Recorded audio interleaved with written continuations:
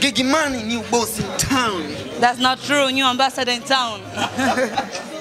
Okay, dili pesa. yeah, dili pesa, dili utu pia na imani, sababu wasingeniamini nisingekuwa hapa.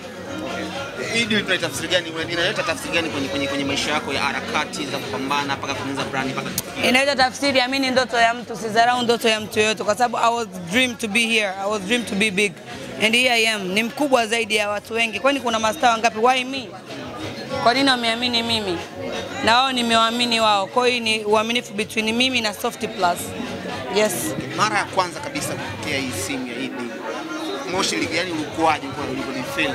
Sikuwa hata naamini kwanza, kwa sababu nimeshapigiwa na kampuni nyingi, end of the day product zao ni ovyo, wanaishia juu juu baada ya kutokuwajibu vizuri, kwa sababu unaambia hii, mbona kama uchongo unatoka kwanza kama inavujisha. Kwa hiyo ukiwapa comment zako unatakiwa kuwa ambassador, wanakurudia vibaya, yani wana- wanaweza kakuignore, wanaweza kujibu hivyo, lakini tofauti imekuja hapo, tunaelewana. Unajua, kabla ya kufanya na watu kazi, chemistry ya akili zenu zilingane.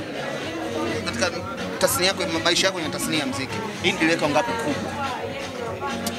Dili yangu ya kwanza kubwa, lakini nategemea dili nyingi kubwa kutokana na nitakavyoifanya vizuri. Hii ndio kampuni nyingine inaweza ikaamini. Unajua hata wao kuniamini ni wamejitoa, sababu sio rahisi kuniamini au sio rahisi kumwamini mtu kama Gigimani au ilibidi watu fulani watokee kama MNC kufanya wengine waamini Gigi anaweza kuwa chochote kutokana na watu walivyoniwekea kwenye mindset zao.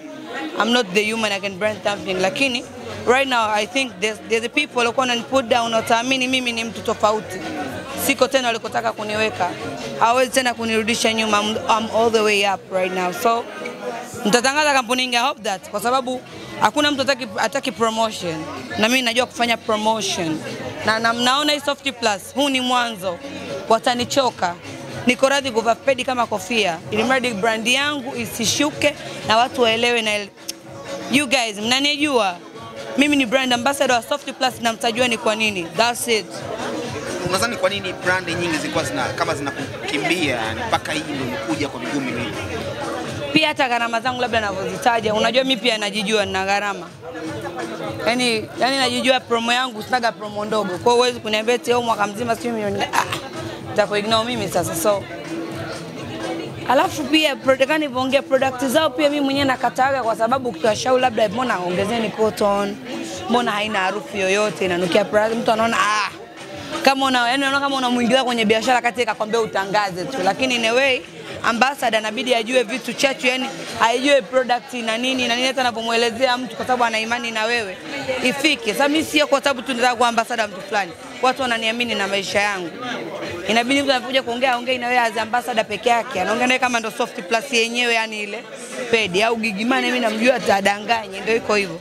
So kampuni nyingine hata usingenitaka kama hii imenitaka, wengine wakina nani, Soft Plus ndio mikono yote, na wengine watataka tu, wanaangalia nani aanze, Ndio wabongo wako hivyo, na yani watu wako hivyo, wataka fulani aanze kufanya kazi na mtu, wengine watafuata. I hope na nafasi nzuri ya maisha na nitafanya sana kazi.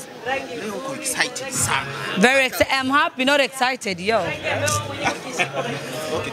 By the way, tulikutana Kisarawe na Yeah, na JK, yeah. Ameniambia kuna uchaguzi nyingi zinatokea kwa ajili ya unajua tunakaribia kubadilisha everything. So nimeona ni afadhali nikamwacha DC aendelee kutekeleza mahitaji ya nchi. Muda huu hapa kuna watu wazima, kuna TV nyingi zinaweza zikafikisha bado ujumbe.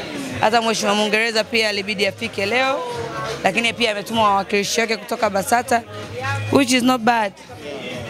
Marafiki waliokuwepo hapa leo kwenye siku yako muhimu tumeona official naye na Jonije official naye Chidi Malaika yeah, watu wakubwa wote marafiki zangu, Larry Arima, wote marafiki zangu. tukizungumzia official naye kuna wakati mko mnaonekana kama mko Sio wakati sahihi, naomba nitafute tofauti hapa Yasini, tutalielezea vizuri kwa sababu binadamu ni up and downs. So kusema kazi tunapatana, kazi tunagombana, no. Ilitokea na sasa hivi tuko sawa, that's it, we are okay.